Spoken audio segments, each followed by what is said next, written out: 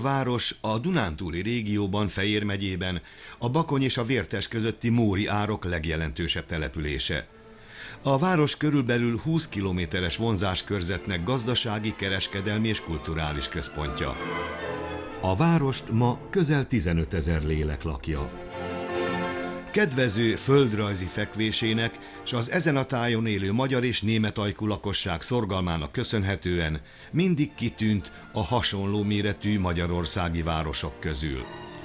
Krisztus előtt 800 körül Kelet-Európa felől érkező törzsek foglalták el a Kárpát-medencét. A késő vaskor kezdetén, a Krisztus előtti 4. század első évtizedeiben feltehetően a Rajna vidékről érkező kelták lakták a területet.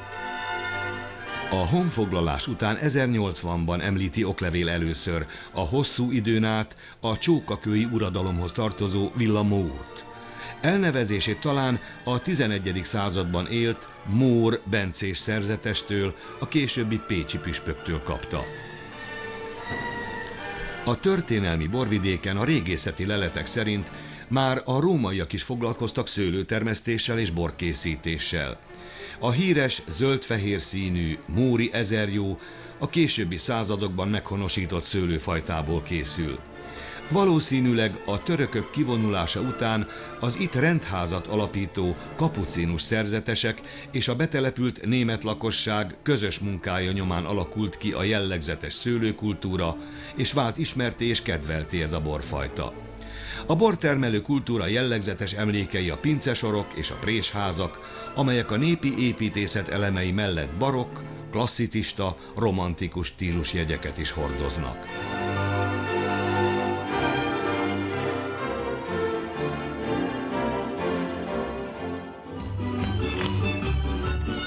Napjainkig őrzi a város ma már Móri Bornapok néven a régi hagyományt, amikor is a Kecskehegyen álló 1794-ben épült kis barokk Szent Orbán kápolna körül Orbán nap előtti hétfőn a szőlőművelők és kádárok megtartották az Orbán napi búcsút. Ennek előzménye, hogy 1711-től három nagy hullámban német telepesek egész sora érkezett, akik meghonosították a vértes oldalában a szőlőkultúrát. A nagyszabású német betelepítés a század közepére teljesen átalakította a vallási képet is, mivel a betelepedők katolikusok voltak.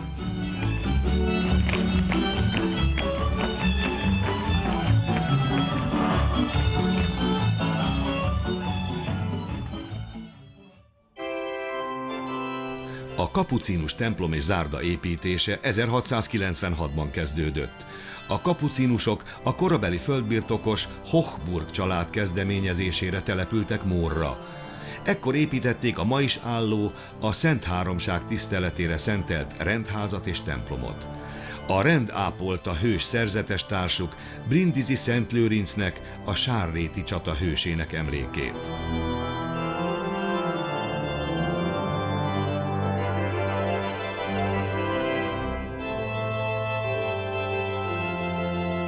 A templom mennyezett freskója is Lőrinc barát hősiességét ábrázolja. A barokk stílusú kapucínus vagy német templomot 1701-ben Széchenyi Pál kalocsai érsek szentelte fel, 1880-ban átalakították. A főoltárképet Baumgartner Norbert kapucínus szerzetes festette. A kiterjedt Lamberg család több tagját is a templom altemplomában temették el.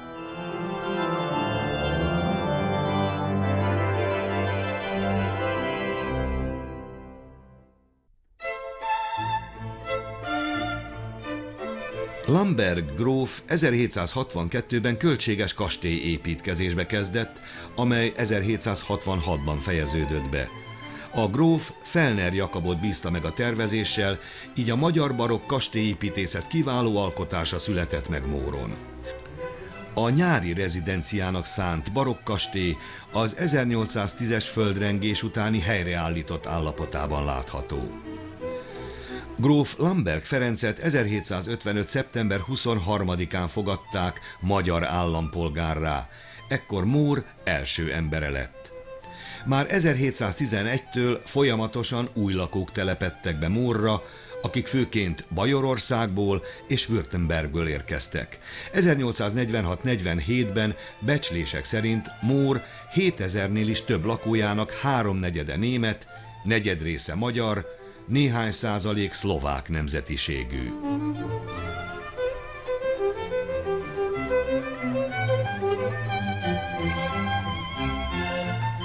Az egyemeletes, manzártetős épület belső falait színpompás falfestések díszítették.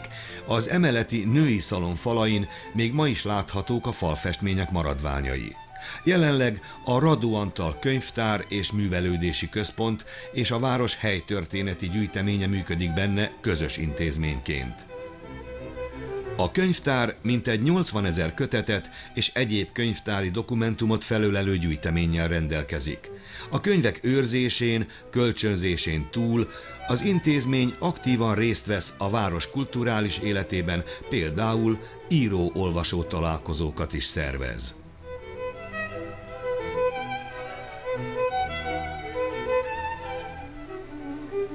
A kastély földszintjén levő termek szakköröknek, időszaki és állandó kiállításoknak, valamint egyéb kulturális programoknak ad otthont. A pincében a környék bortermelését, borkultúráját reprezentáló kiállítás látható.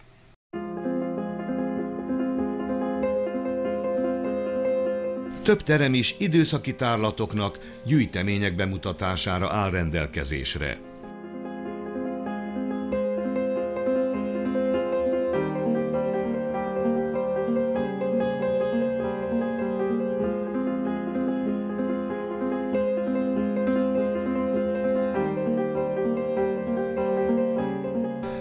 Itt található a város szülöttének, büszkeségének, Vekerle Sándornak az emlékszobája is, aki volt igazságügyi, kereskedelmi, honvédelmi, földművelésügyi, belügyi és pénzügyminiszter, sőt, háromszor miniszterelnök is.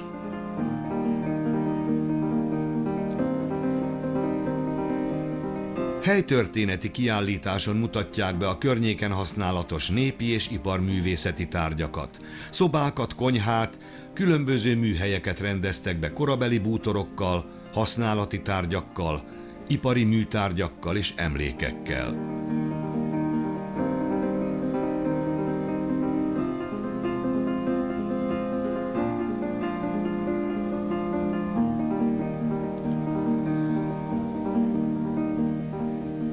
A kiállítások egyik legérdekesebbike, ahol ma ketten újraélhetjük az 1848-49-es szabadságharc egyik gyászos ütközetét, a Móri csatát is. A vereség a magyar főváros feladásához vezetett, és a honvéd haderő végső összeomlásától eltekintve legsúlyosabb válságának kezdetét jelentette.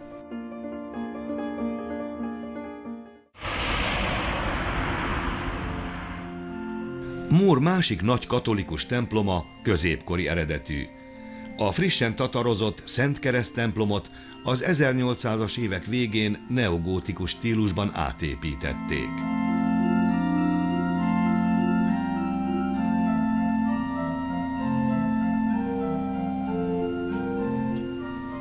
Berendezés szintén neogótikus. A fennmaradt adatok szerint az 1800-as évek végén történt átépítés tervezője Havranek és Arányi volt.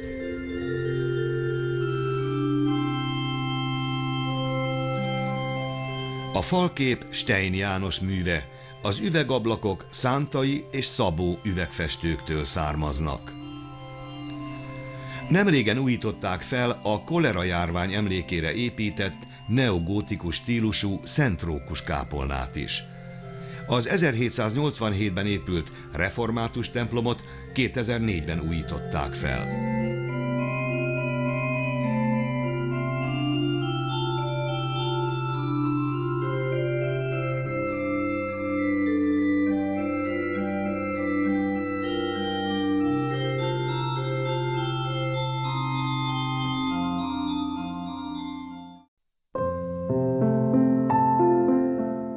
A városhoz kötődő személyek és történelmének emlékeit számos szobor őrzi. A korintoszi oszlopon álló Szent Sebestyén szobrot a Pest elmúlásának emlékére 1739-ben állították. Szent Flórián szobrát mészkőből emeltette báró Luzsénszki Károly a nagy Móri tűzvész emlékére. Nepomuki Szent János fehér mészkőből készült szobra a kapucínus templom előtt áll. A 2007-ben felújított Fejér megye első 1848-as emlékművét 1874-ben avatták fel a vesztes Móri csata elesettjeinek emlékére. A város közepén a Szent István tér és a Kapucínus tér határán felállított katonaszobor Bori Jenő 1932-es alkotása őrzi az első világháború halottainak emlékét. A sárkányt legyőző Szent György bronzszobrát, Nagy Benedek művét 1994-ben avatták, amit a második világháború elesetteinek emlékére állítattak. A márványoszlopon az áldozatok nevei olvashatók. A németek és magyarok békés egymás mellett élésének és a város újkori történelmének kifejező szimbóluma az első István király feleségét, a boldoggá avatott Bajor Gizellát ábrázoló bronzszobor. A Millennium jegyében a Móri Városvédő és Szépítő Egyesület által kezdeményezett közadakozás segítségével 2001-ben készült alkotás szintén Nagy Benedek műve.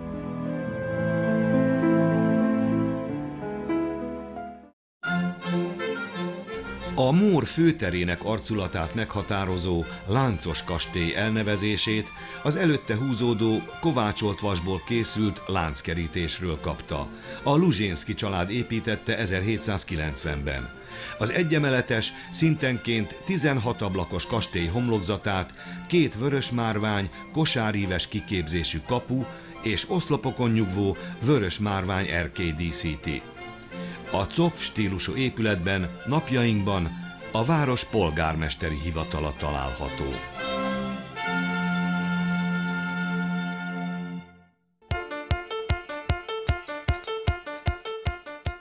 A város ma Fejér megye egyik legerőteljesebben fejlődő települése, a Móri kistérség kulturális, oktatási, egészségügyi, kereskedelmi és gazdasági központja.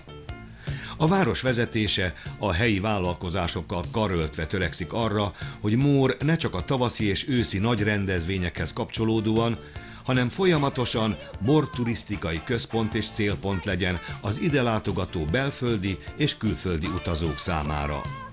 A város mai fejlődésében egyre nagyobb szerephez jut a belföldi és a nemzetközi turizmus, amelyet bővülő szálláshelyeinek és sokoldalú wellness, lovas, borászati, gasztronómiai szolgáltatási kínálatának köszönhet. A városba települt multinacionális cégek húzó erejének hatására jelentősen nőtt a helyi ipari és kereskedelmi vállalkozások száma és minőségi fejlődés történt a szolgáltatások terén is. Ennek köszönhetően a munkanélküliség a városban tartósan 5%-os mérték alá esett. És dinamikus a helyi beszállítói, ipari vállalkozások és a kereskedelmi cégek növekedése is. A várost Székesfehérvár és Győr irányába átszelő 81-es számú főközlekedési útvonal is a fejlődést segíti. Az elmúlt évek egyik legnagyobb beruházásaként 2002-ben nyitotta meg kapuit a fejlődő kisváros egyik gyöngyszeme, a térség lakossága és az ide látogató vendégek sport és kulturális igényeit kielégítő, multifunkciós Vekerle Sándor Szabadidőközpont.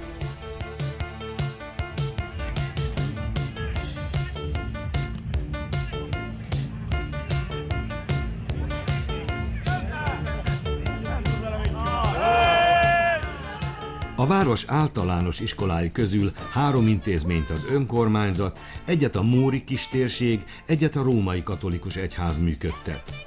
A tanulók mintegy 60%-a német nemzetiségi oktatásban vesz részt. Működik a városban nevelési tanácsadó, továbbá alapfokú művészeti, oktatási képzés is folyik.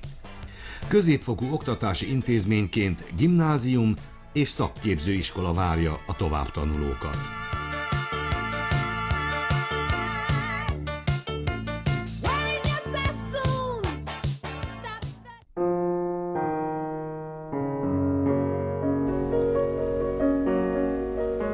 Város évszázados borkultúrájáról, a hozzá kapcsolódó hagyományokról vált nevezetessé. Több világi és egyházi műemlék mellett a bortermelés jellegzetes emlékei, a présházak és pincesorok kínálnak látnivalót. Sajnos a régi pincék nagyobb részét mára lebontották vagy átépítették.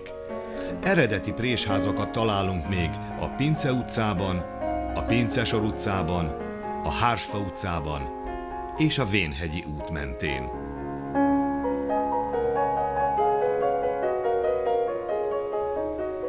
Itt található a Bormúzeum, ahol a híres Móri ezerjót is megkóstolhatjuk, és megnézhetjük azokat az eszközöket is, melyeket a móri gazdák használtak a szőlőfeldolgozás, a borkészítés során. Az egykori présházban száz éves szőlőprést, puttonyokat, részpermetezőt és a borkészítés ősi eszközeit helyezték el.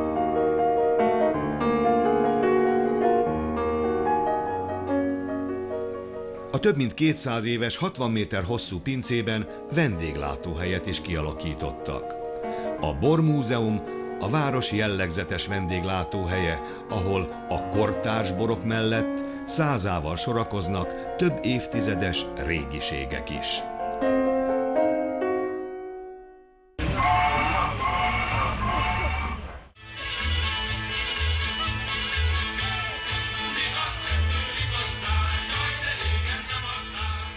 A város nemzetközi hírű rendezvénye, nagy eseménye a születhez kapcsolódó Móri Bornapok, amelyet hagyományosan október első hétvégéjén rendeznek meg Mór önkormányzatai, hagyományőrző és borászati, valamint egyéb civil szervezetei. A háromnapos Móri borünnep sajátos hangulata, a jó borok és ételek, a művészeti, kulturális, sport és szórakoztató programok Évente több tízezer látogatónak nyújtanak maradandó élményeket, akik közül sokan évről évre visszatérnek a vértes aljára.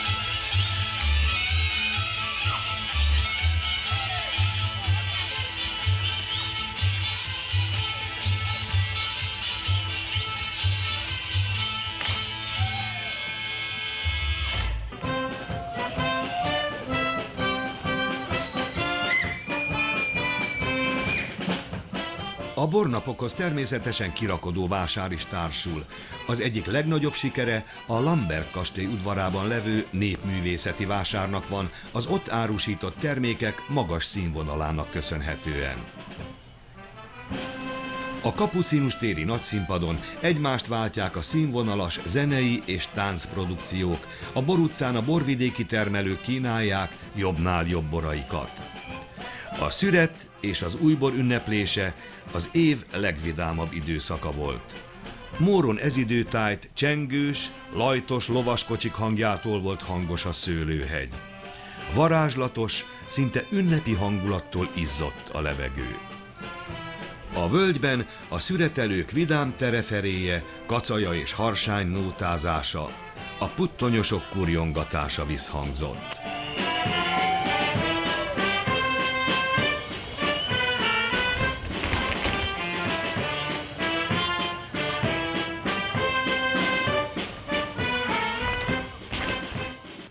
Az ezer éves település büszke múltjára és büszke lehet jelenére is. Mór folyamatosan fejlődő város, a múltját nem felejtve építi jövőjét.